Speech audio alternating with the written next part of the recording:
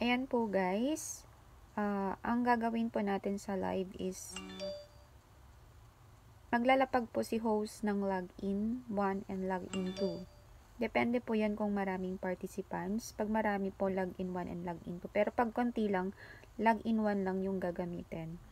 So, pag naglapag na si host ng login 1, puntahan po. I-click nyo lang po yung link. Yan. I-click mo po yung link. To all the participants, Ayan. Mapupunta ka sa video. Then, always po na sa comment section kayo pumunta. Ayan. Tapos, mag-comment po kayo ng 7 words pataas na related sa video. Kailangan po 7 words or isang sentence. Uh, sabihin natin, happy birthday. Happy birthday. Mom Chips. Stay. Stay pretty. Yan. No, tama ba yung spelling ko? 2, 4, 6. And humble. Ayan guys, oh, 7 words na yan. Happy birthday, Ma'am Chips. Stay pretty. Pretty and humble yan. 1, 2, 3, 4, 5, 6, 7, 7 words na yan sa isang sentence or more than 7 words yung gagamitin natin guys. Then, ayan, comment na natin. Ayan. Always po kapag uh, nagpunta kayo sa login link, main channel po ang gagamitin. So, panoorin mo po yan ng 1 minute. Pwede mong ano, habang nagko-comment ka, naka-play po yan. In-stop ko lang po kasi maingay. Ayan. Para sa mananalo Kapag ano na, kapag 1 ruleta. minute na, Ilalapag lamang ang links ng mga sponsors at guests. hintayin po, panoorin po ng 1 Super chatters minute. of 250 pesos and above Ayan. Kasi pwedeng sabay habang nagko-comment ka, nanonood huwag ka. ilagay sa dulo ng One bakas minute lang ang po, guys. caps One na minute. Scorpio Sa 40 Chips. seconds lang po siya. So, matatapos yung video. Para valid ang premyong ibibigay. Mag-enjoy at Ayan, magsaya guys. ngayong gabi. Happy birthday, Chips March! Ayan po. And then, after nyo po mapanood, like, and then subscribe and bell all. Nakasubscribe na kasi ako sa kanya dati. And then, balik na po sa live. Ayan. Ito po yung live, ba? Ito yung live. Ayan. Yan yung live. Ayan. Nakabalik na tayo sa live.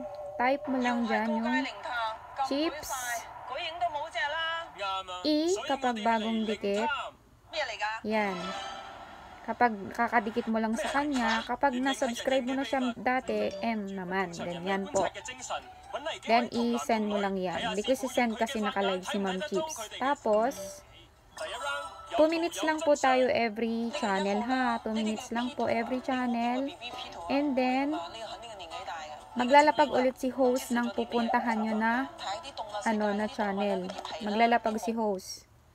So, ayan, nakalagay dyan, puntahan ang nakapin comment, latest video, yan, yan po. So, i-click po natin, i-click natin. Ayan, mapupunta ka sa isang video. So, punta tayo doon sa comment section. Ayan, nakapin na po si Leroy's Vlog. Siya yung naka-comment, so, i-click mo lang po yung channel niya. And then, ayan, mapupunta ka sa kanyang video and then punta ka sa video niya. Tapos latest video lagi ha? Latest video. So ano yung latest video niya? Ito. So i-click natin yung latest video. Tapos ayan. Panoorin po natin ng 1 minute. Ayan. Comment lang tayo guys. Mag comment tayo ng 7 words pataas na related sa video. Panoorin ng 1 minute After nyo po mapanood ng 1 minute, yan, pwede nyo nang i- pwede nyo i-like, then subscribe, and bell all. Once na napanood nyo na po ng 1 minute. And then, after nyo po magawa yun, balik na po sa balik na po sa live. Ayan, balik sa live. Okay, next. Ah, 'di ba nakabalik na tayo dito? I-type mo ulit Leroy's Leroy's M kasi nadikitan mo na siya dati. Send. Okay, magingay na po, magingay na po yung ating Tapos team. Team, team, team, makikita team, mo dyan guys kapag Caldero nagpalit po, na siya ng Team Kaldero, ano, nagpalit na siya ng pag nagpalit na siya ng channel na ibababa, mag, kasi Leroy's pa lang, 2 minutes kasi, kasi tayo guys, every channel.